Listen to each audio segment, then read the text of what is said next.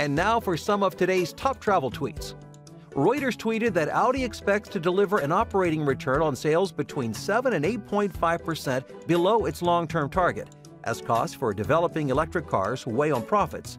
The premium car manufacturer expects to produce about 30 electric car models by 2025.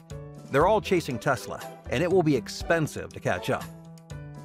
CNBC reporter uh, reporter Carl uh, Quintanilla tweeted an interesting view of the sky before the U.S. announced it was grounding Boeing 737 MAX fleet.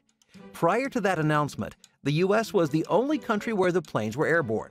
A very risky position for the U.S. aviation authorities and Boeing. And finally, Expedia CEO Mark Okerstrom tweeted a picture from the OTA's future new headquarters in Seattle. Looks like some great waterfront real estate. Very fitting for a travel brand.